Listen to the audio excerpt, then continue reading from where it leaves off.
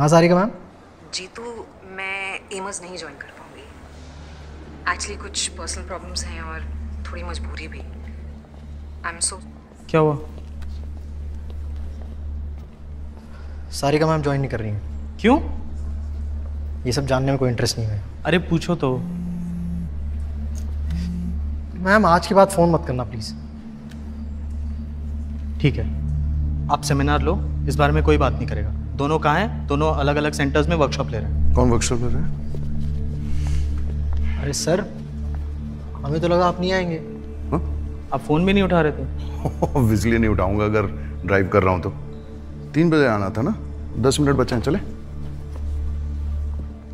Sir हाँ?